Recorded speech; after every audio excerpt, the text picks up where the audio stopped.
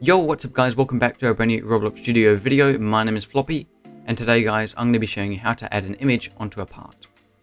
Just before the video begins, I would just like to say 92.2% of you guys are not subscribed. If you want to see more Roblox Studio videos like these, make sure to consider subscribing and turning on the notification bell so you can be the first one to be notified every single time I upload a new video. So for starters, you're going to want to make sure Explorer and Properties are enabled. If Explorer and Properties are not enabled, you want to go to the top bar here, click on View, and click on Explorer and Properties, so they're pressed down and they should be somewhere over your screen.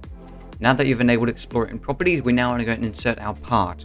Now, feel free to go and resize this part to whatever you'd like.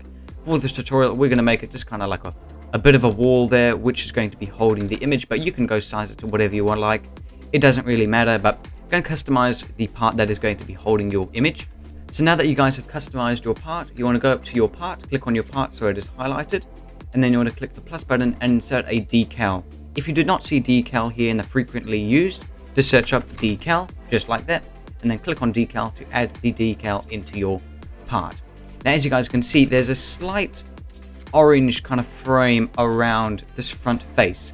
Now, if you want to change where the image is on the part, you can go down to here where it says the face. And for example, if we put it to the bottom, it'll be put down to the bottom here basically meaning the image will be down here and not over here. But for this tutorial, we'll be leaving it on front. So now that you've got your image, you now want to go and get your image ID. So you're probably wondering, how do I actually get my image ID? So this is fairly simple. Depending if you want your own image ID, let's say you wanted to upload your own custom image onto Roblox, you follow the processes there. But for this tutorial, we're just going to be using a, a free modeled uh, image that someone else uploaded so what you want to do, you want to go and click on the create or the marketplace button on the main Roblox page. And then you should load up to a screen looking something like this on the marketplace, just like that. Okay. Then you want to go over to where it says images.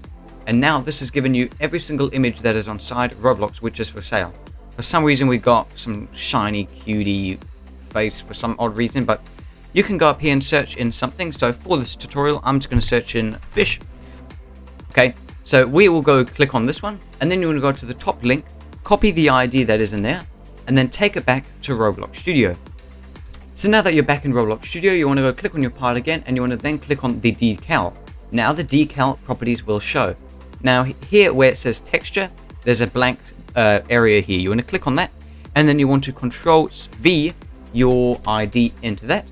And as you guys can see, now our fishbowl shows up. And obviously now you can go and customize the thing and this the image will just simply resize itself, but now keep in mind you can use other image IDs, but for this tutorial we used the one that had a fishbowl.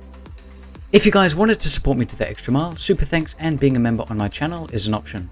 Super thanks is located just below the video and to become a member, you can click the join button next to the subscribe button located below the video. This is a fairly simple process, but if you guys do need any help, please feel free to send me a message on Discord and I'll happily help you out. But anyway guys, I'm going to wrap up the video here. If you did enjoy, I'd appreciate if you do consider subscribing to the channel, turning on the notification bell, and also to consider liking the video. I'd really appreciate it. But anyway, have a lovely rest of your day, and I'll see you guys all in the next video.